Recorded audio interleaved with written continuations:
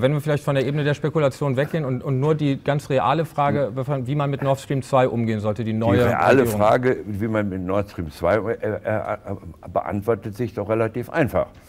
Es ist ein, genehmigter, äh, ein genehmigtes Projekt und mit Nord Stream 2 muss man so umgehen, dass Gas durch diese Leitung fließen kann. Das ist im hohen Interesse nicht nur Deutschlands, sondern auch im europäischen Energieinteresse. Und insofern gehe ich davon aus, äh, dass auch äh, die neue Bundesregierung sich daran halten wird, dass es ein genehmigtes wirtschaftliches Projekt ist und deswegen natürlich Gas fließen muss.